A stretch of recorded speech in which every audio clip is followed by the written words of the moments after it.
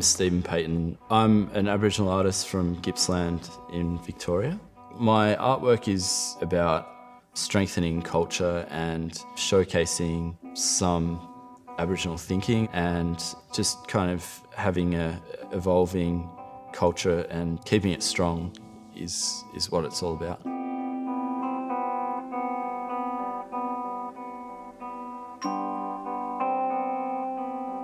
I guess I see myself as a caretaker of knowledge and yeah, just kind of paying respect to that knowledge. Pop, you know, he's the head honcho of our family and he's got a lot of knowledge. With Booruns Canoe, it was kind of about getting all, all of my brothers and cousins together to get this canoe made and, and so that they could learn about uh, how the canoe is made and get that knowledge passed on from an elder in traditional way, just as, as my pop was taught when he was a kid in the same place. So it was through that project that we were able to continue that tradition and continue culture and, and strengthen it.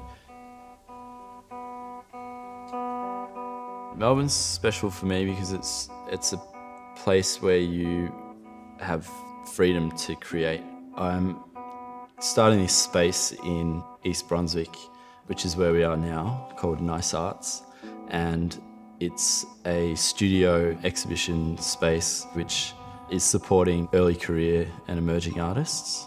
The idea being that they can have a studio here and, and it's relatively cheap and you know there's an exhibition space here people can show their work there's a cafe that you know that will bring the rest of the community and all the local community and kind of just bringing a lot of people together into the one space. Not going to art school, I did have that thing of, oh, well, how can I say I'm an artist if I didn't go to art school? Or how can I be an artist if I haven't had an exhibition? And just kind of supporting people through those, those um, they're really mental barriers and they're not physical barriers.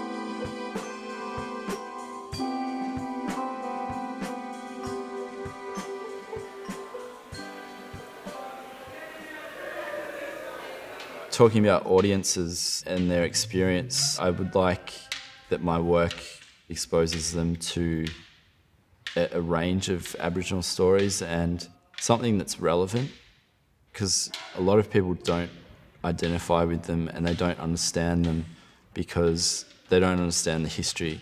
So what I'm trying to do is turn that around and, and get them interested in it so then maybe they'll actually read something about the history and they'll maybe they'll learn something.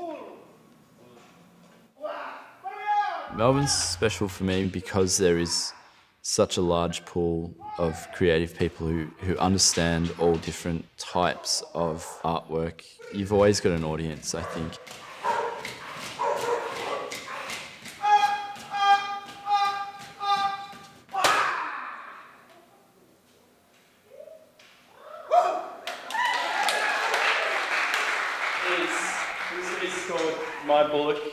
Modified, and it's a um, it's based on a painting that I did called My Bullock, um, and it's talking about Aboriginal uh, conflict with uh, early settlers, squatters. Uh, Aboriginal men in early days of settlement kind of uh, went and well, they did go and spear cows, and they were they were often uh, either killed or shot or arrested for what they did.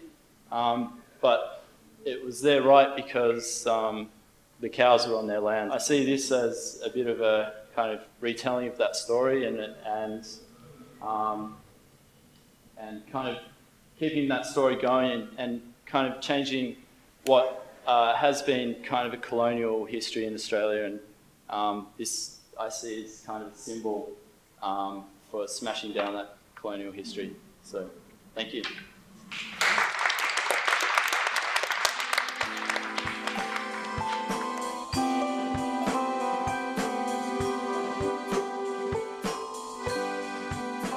Going back to what I was saying about emerging artists and where I've come from trying to make this happen for, for myself, I've seen those barriers and I've seen those mental barriers and, and the physical barriers and, and I'm trying to change that.